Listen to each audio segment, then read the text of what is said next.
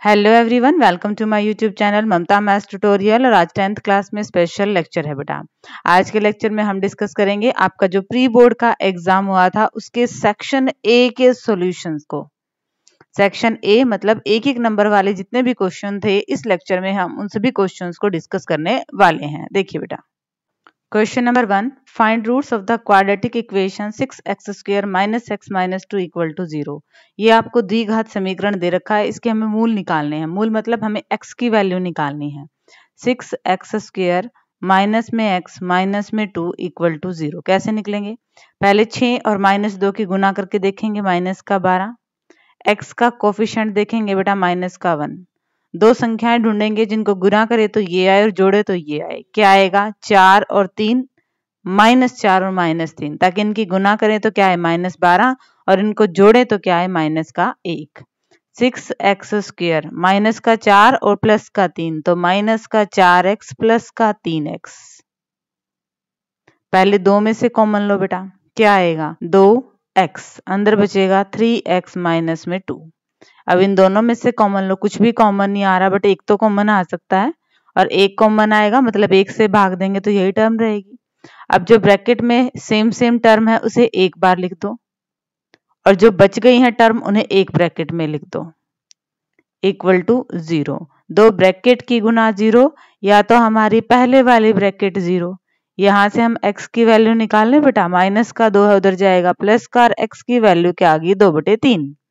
ऐसे यहाँ पे two x plus one equal to zero two की वैल्यू क्या है? माइनस वन और एक्स की वैल्यू क्या आएगी माइनस में वन बाय टू हमें मूल निकालना था मतलब हमें ये एक्स की वैल्यू ही निकालनी थी। ठीक है बेटा? तो गुणनखंड करने का तरीका है। हम छोटी क्लासेस से भी पढ़ते आए हैं कि गुणनखंड किस तरह से करने हैं। क्वेश्चन नंबर टू देखिए बेटा। Second sum find the eleventh term of an AP AP की इलेवंथ टर्म मतलब ए प्लस टेन डी हमें निकालना है। ए क्या है हमारे पास? चार है। प्लस में दस, डी मतलब कॉमन डिफरेंस कॉमन डिफरेंस कितना है? दस में से चार गए छ का कॉमन डिफरेंस है। दस और छ की गुना सिक्सटी सिक्सटी और फोर सिक्सटी फोर ये हमारा एपी का ग्यारहवा पद आएगा। इस एपी का सार्व अंतर कॉमन डिफरेंस निकालना यानी कि डी निकालना है। डी निकालने के लिए सेकंड टर्म में से फ़र्स्ट टर्म घटा दो।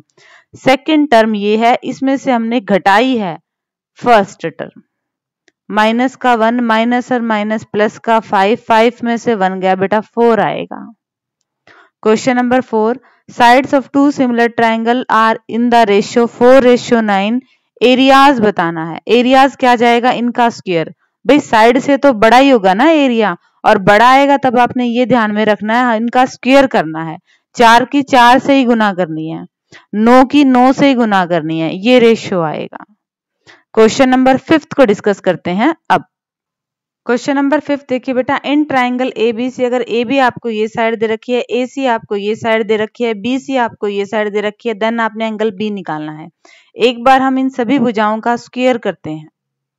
सिक्स रूट थ्री का स्क्वेयर करेंगे। सिक्स रूट थ्री की, सिक्स रूट थ्री से गुना। छह छिक छत्तीस और छत्तीस बेटा एक सौ आठ। नेक्स्ट है हमारे पास ए, सी। ए, सी का स्क्वेयर करते हैं। बारह की बारह से गुना क्या आएगी? वन फोर्टी फोर सेम काम हम थर्ड साइड के साथ करते हैं। सिक्स का स्क्वेयर क्या आएगा? थर्टी सिक्स अब हम चेक कर रहे हैं क्या किन्हीं दो भुजाओं के वर्गों का जोड़ तीसरी भुजा के बराबर आ रहा है? बिल्कुल आ रहा है। 108 और 36 को जोड़ेंगे तो 144 आ रहा है। मतलब यहाँ पे पाइथागोरस थ्योरम लग रही है। पाइथागोरस थ्योरम बेटा हमेशा समकोण त्रिभुज में लगती है। कर्ण सबसे बड़ी भुजा होती है, सबसे बड़ी भुजा हमारे पास क्या है? ए सी है तो इधर वाला कोण क्या आएगा? बी ये कितने डिग्री का आएगा? नब्बे डिग्री का आएगा। ठीक है बेटा सीधा सीधा हमने सिर्फ़ चेक किया है कि हमारी पाइथागोरस थ्योरम फॉलो हो रही है या नहीं हो रही है, यहाँ पे हो रही थी। मतलब एंगल कितने डिग्री का मिलेगा? 90 डिग्री का मिलेगा। सिक्सम find the distance between two point दो पॉइंट के बीच का डिस्टेंस डिस्टेंस फॉर्मूला लगा दो बेटा। फ़र्स्ट कोऑर्डिनेट में से फ़र्स्ट कोऑर्डिनेट घटा के उसका स्क्वायर कर दो। प्लस में सेकंड कोऑर्डिनेट में से सेकंड कोऑर्डिनेट घटा के उसका स्क्वायर कर दो। बाकी तो सिंप्लीफिकेशन है। Minus P minus P minus में टू पी और उसका स्क्वायर करेंगे तो बेटा फोर पी स्क्वायर माइनस में क्यू माइनस में क्यू माइनस में टू क्यू और उसका स्क्वायर करेंगे तो बेटा फोर क्यू स्क्वायर फोर को रूट से बाहर निकालेंगे तो क्या आएगा? टू अंदर क्या बचा बेटा? P square plus Q square और यही हमारा रिक्वायर्ड आंसर है। क्वेश्चन नंबर सेवन, हमें इन दो पॉइंट्स का क्या निकालना है? मध्य बिंदु मिड पॉइंट निकालना है। बिल्कुल, अगर हमारे पास एक पॉइंट है एक्स वन वाई वन और दूसरा पॉइंट है हमारे पास एक्स टू वाई टू तो मिड पॉइंट के कोऑर्डिनेट कैसे निकलते हैं? फ़र्स्ट फ़र्स्ट कोऑर्डिनेट को जोड़ के उसका हाफ़ कर देते हैं। सेकंड सेकंड कोऑर्डिनेट को जोड़ के उसका हाफ़ कर देते हैं।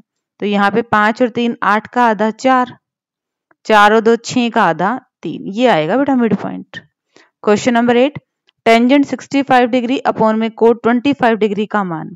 अब देखिए 65 और 25 पैंसठ और 25 को अगर जोड़ रहे हैं तो 90 आता है। मतलब हम दोनों में से एक को चेंज करेंगे, ऊपर वाले को चेंज कर देते हैं।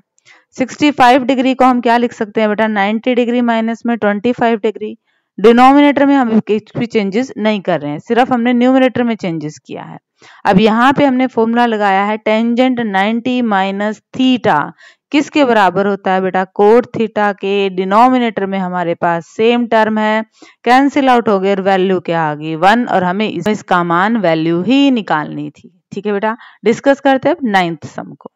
बेटा एल्सियम निकालना है बारह पंद्रह और इक्कीस का। बारह पंद्रह और इक्कीस का। तीन से जा रहे हैं। चार पाँच सात। पाँच और सात तो जाएँगे नहीं दो से कर लेते हैं। फिर दो से। सात पंज पैंतीस पैंतीस दूनी सत्तर सत्तर दूनी एक सौ चालीस, एक सौ चालीस चार सौ बीस, ऑप्शन बी आपका करेक्ट ऑप्शन है। क्वेश्चन नंबर टेन, इनमें से कौन सी अपरिमेय संख्या इरेशनल नंबर है? अब देखिए बेटा फोर का वर्गमूल टू ये तो पूरी पूरी टर्म आ गई है। नाइन का वर्गमूल थ्री ये भी पूरी पूरी टर्म आ गई है।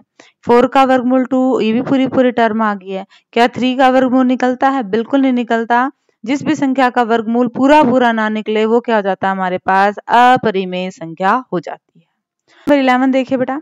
Six X square minus seven X minus three के शून्य मतलब ऐसे कौन से पॉइंट है जो जहाँ रखें और वैल्यू इसकी ज़ीरो आ जाए? तो सिंपली हम भी फैक्टर बना के भी कर सकते हैं। कैसे देखिए जरा।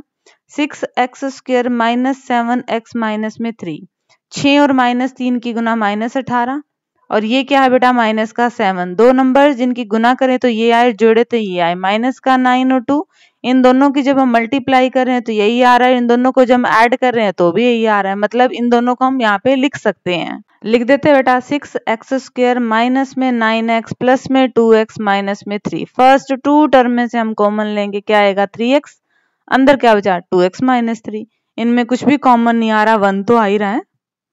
जो सेम सेम है, उसे हम एक ब्रैकेट में रख देते हैं। जो बच गया, उसे हम एक ब्रैकेट में रख देते हैं अब इनको रख देते हैं ज़ीरो के बराबर।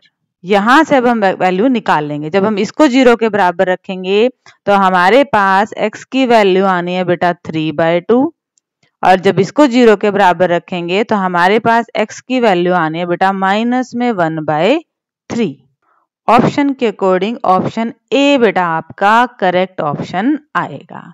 डिस्कस करते हैं क्वेश्चन नंबर ट्वेल्व को। क्वेश्चन नंबर ट्वेल्व देखिए, अगर टेंजेंट ए की वैल्यू ये है तो कोस ए की वैल्यू क्या होगी?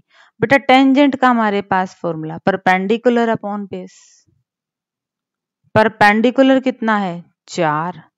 बेस आधार कितना है? तीन। जब हम पाइथागोरस थ्योरम लगाएँगे तो ये क्या आएगा? पाँच। हमें कॉस ए निकालना है मतलब बेस अपॉन में हाइपोटेन्यूज बेस कितना है? तीन। हाइपोटेन्यूज कितना है? पाँच। तो कोस क्या आएगा? तीन बटे पाँच।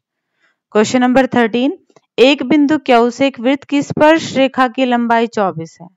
ये आपका वृत्त का केंद्र है और ये कोई बिंदु है, स्पर्श रेखा की लंबाई चौबीस है। केंद्र से क्यू की दूरी 25 है। ये वाली दूरी आपके पास 25 है। वृत्त की त्रिज्या निकालनी है, ये निकालनी है। यहाँ पे जब हम पाइथागोरस थ्योरम लगाएँगे तो नाम दे एक बार, पी क्यू ओ। नब्बे डिग्री के सामने वाली भुजा क्या है? ओ क्यू है। ओ क्यू का स्क्वायर ओ पी का स्क्वायर प्लस पी क्यू के स्क्वायर के बराबर होगा। क्यों होगा? क्योंकि हमें पता है त्रिज्या स्पर्श लेखा पे स्पर्श बिंदु पे क्या होती है? परपेंडिकुलर होती है, लंब होती है। तो ये समकोण त्रिभुज है और यहाँ पे हम पाइथागोरस थ्योरम लगा सकते हैं। ये तो हमारे पास ट्वेंटी फाइव है। त्रिज्या तो हमने निकालनी है। ये हमारे पास ट्वेंटी फोर है। पच्चीस का स्क्वेयर क्या आएगा बेटा? छह सौ पच्चीस। चौबीस का स्क्वेयर क्या आएगा बेटा? फाइव सेवेंटी सिक्स जब हम घटाएँगे तो क्या आएगा? फोर्टी नाइन फोर्टी नाइन किसके बराबर आएगा? पी ओ का स्क्वेयर और जब फोर्टी नाइन का ये स्क्वेयर यहाँ जाके स्क्वेयर रूट हो जाएगा तो आंसर क्या आएगा बेटा? सेवन आएगा। ये एक्सरसाइज का ही क्वेश्चन है बेटा। क्वेश्चन नंबर 14 देखिए बेटा। A circle can have how many parallel tangents एक वृत्त की अधिक से अधिक कितनी समांतर स्पर्श रेखाएँ हो सकती हैं? बेटा, समांतर तो दो ही हो सकती हैं। कैसे? अगर एक सर्कल है, एक स्पर्श रेखा होगी तो इसके पैरेलल बेटा एक ही हो सकती है? मतलब दो स्पर्श रेखाएँ होंगी। और अगर बाई चांस मान लो यहाँ पे ये समांतर वर्ड नहीं आता, सिर्फ़ ये आता कि एक वृत्त की अधिक से अधिक कितनी स्पर्श रेखाएँ होती हैं तो बेटा एक वृत्त पे अनंत स्पर्श रेखाएँ हम खींच सकते हैं। ठीक है? डिस्कस करते हैं क्वेश्चन नंबर 15 को। 15 देखिए बेटा। If the perimeter and area of a circle are numerically equal किसी वृत्त का परिमाप परिमाप मतलब परिधि परिधि का फॉर्मूला क्या होता है बेटा? टू पाई आर और क्षेत्रफल क्षेत्रफल का एरिया क्या होता है बेटा? पाई आर स्क्र अगर ये दोनों बराबर हैं तो हमें क्या निकालना है? वृत्त की त्रिज्या। हमें रेडियस निकालनी है। पाई से बेटा पाई कट गया। आर दो बार था, एक बार कट गया। टू बराबर है आर आर की वैल्यू क्या आ गई है? दो इकाई आ गई है बेटा। और अब डिस्कस करते हैं आज के लेक्चर का लास्ट सम व्यास दो आर है तो त्रिज्या कितनी हो जाएगी इसकी आधी। ऊंचाई कितनी है? एच हमें निकालना है आयतन। आयतन का फॉर्मूला बेटा? Pi R square H R की जगह आर है एच की जगह एच है। ऑप्शन ए बेटा आपका करेक्ट ऑप्शन आएगा। ठीक है बेटा? इसी के साथ हमारा सेक्शन ए एक एक नंबर वाले क्वेश्चंस कंप्लीट होते हैं। नेक्स्ट लेक्चर में हम करेंगे जो बोर्ड ने सैंपल पेपर अवेलेबल कराए हैं, उनके भी ये 16 ही क्वेश्चंस को discuss till then take care thank you everyone for watching my video